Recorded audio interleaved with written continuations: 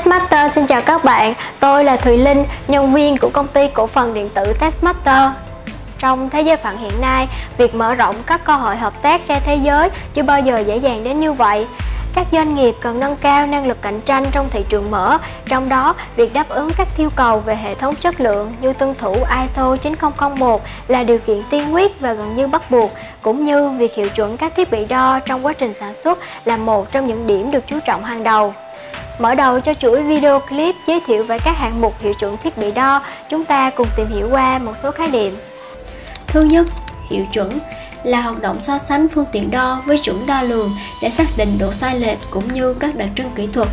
Thứ hai, hiệu chỉnh là việc điều chỉnh giá trị đo về gần giá trị chuẩn trong khả năng cho phép. Thứ ba, phương tiện đo là thiết bị, dụng cụ đo cần hiệu chuẩn, ví dụ như thước cặp, đồng hồ so, cân.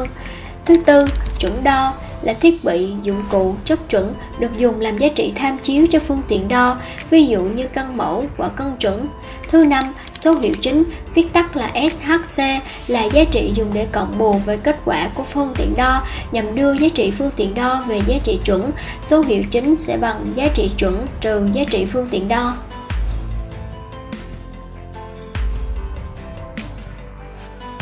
Việc hiệu chuẩn thiết bị cần phải được thực hiện định kỳ, xuất phát từ các nguyên nhân sau đây.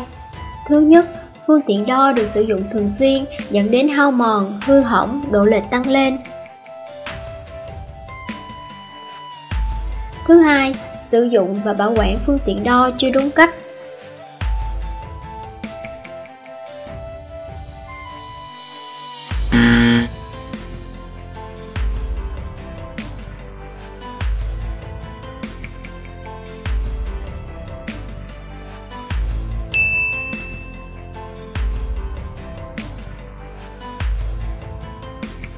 Thứ ba, một số thiết bị đo sẽ bị sai số theo thời gian.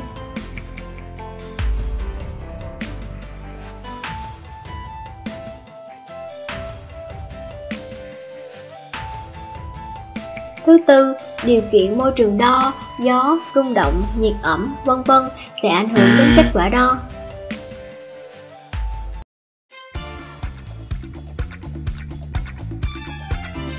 Để chứng minh đủ năng lực hiệu chuẩn thiết bị đo, phòng thí nghiệm thực hiện việc hiệu chuẩn phải đáp ứng được các điều kiện như sau. 1. Chứng nhận quốc tế về tiêu chuẩn phòng lab ISO 17025 và giấy phép đăng ký do Tổng cục Tiêu chuẩn đo lường chất lượng cấp với số hiệu DK283. 2.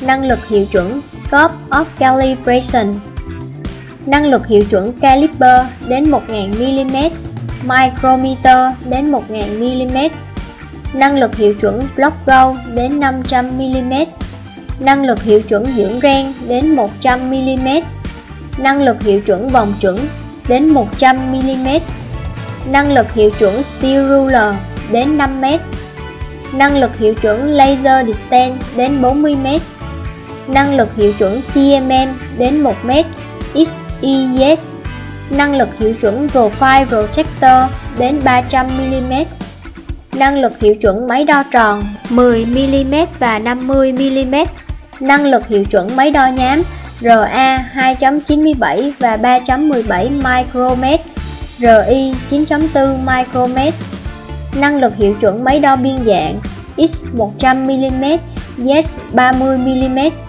3. Thiết bị chuẩn bao gồm Máy hiệu chuẩn kích thước đa năng DMS 680 Bộ căn mẫu chuẩn tham chiếu Mitutoyo. Bộ vòng chuẩn tham chiếu Mitutoyo.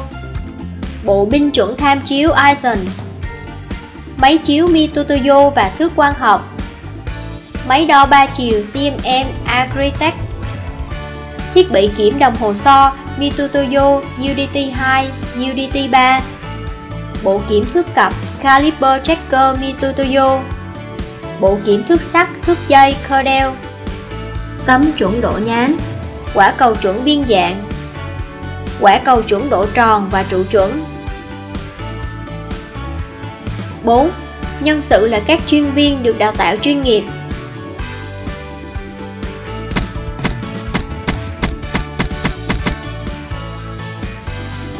năm Quy trình hiệu chuẩn bao gồm Thiết bị đo hay gauge được hiệu chuẩn bởi thiết bị chuẩn Hayes Master, thực hiện tiến hành đo ở các mức khác nhau, sau đó ghi nhận kết quả và cuối cùng là xuất báo cáo. 6. Tra cứu, kiểm soát dữ liệu trực tuyến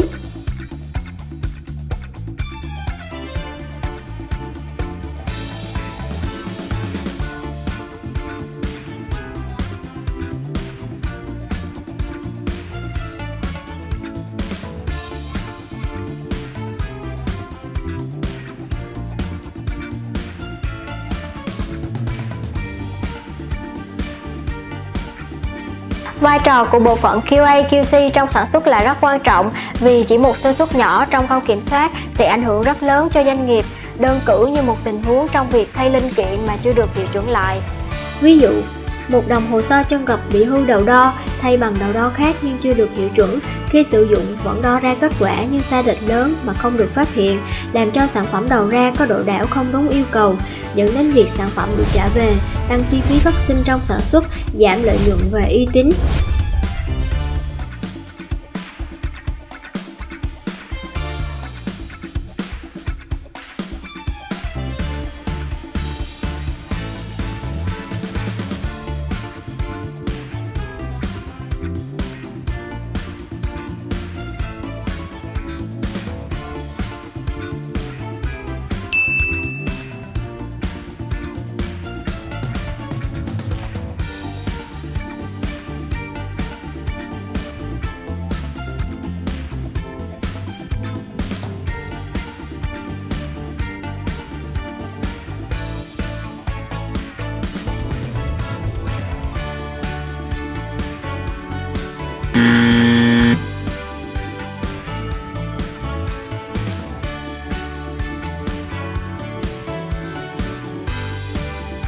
Trong 7 đơn vị đo lường cơ bản, chiều dài được xếp hạng đầu tiên và là đơn vị đo lường quan trọng nhất. Do đó, các doanh nghiệp hoạt động trong nhiều lĩnh vực cần thực hiện việc hiệu chuẩn thiết bị đo độ dài.